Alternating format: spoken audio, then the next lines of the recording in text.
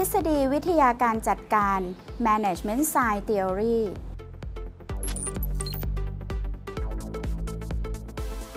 ทฤษฎีนี้เป็นวิธีการบริหารจัดการที่ใช้เทคนิคเชิงปริมาณในการวัดปริมาณงาน เพื่อให้เกิดประสิทธิภาพสูงสุด ทฤษฎีนี้พัฒนาโดยเฟรเดอริกเทย์เลอร์สิ่งสำคัญในทฤษฎีนี้ก็คือ การบริหารจัดการเชิงปริมาณ quantitative management การบริหารจัดการเชิงปฏิบัติการ หรือการวิจัยเชิงปฏิบัติการ operation management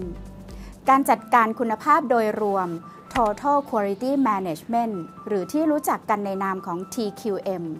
ระบบสารสนเทศเพื่อการจัดการ หรือ management information system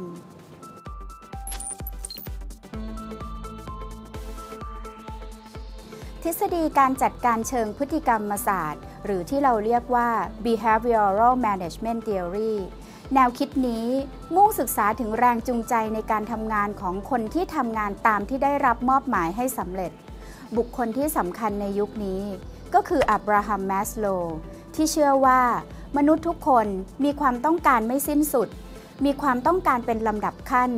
เมื่อความต้องการที่ได้รับการตอบสนองแล้ว ความต้องการนั้นก็จะลดลง และเปลี่ยนไปให้ความสำคัญกับความต้องการในระดับที่สูงขึ้น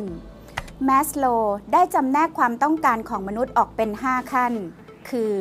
ความต้องการทางร่างกายของมนุษย์ ซึ่งจำเป็นสำหรับการดำรงชีวิต ความต้องการความปลอดภัยทางด้านร่างกาย และความมั่นคงทางเศรษฐกิจ ความต้องการปฏิสัมพันธ์ เป็นส่วนหนึ่งของกลุ่มหรือสังคม และความต้องการที่จะพัฒนาศักยภาพตนเอง ให้สามารถก้าวสู่จุดสูงสุด และประสบความสำเร็จในชีวิต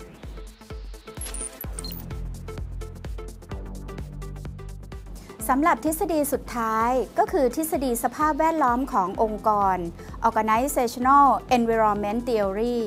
ทฤษฎีนี้เน้นถึงแรงผลักดันที่ส่งผลต่อการบริหารจัดการองค์กร ประกอบด้วย สภาพแวดล้อมทั่วไป สภาพแวดล้อมที่มีผลโดยตรงต่อการดำเนินงานขององค์กร และสภาพแวดล้อมภายในองค์กร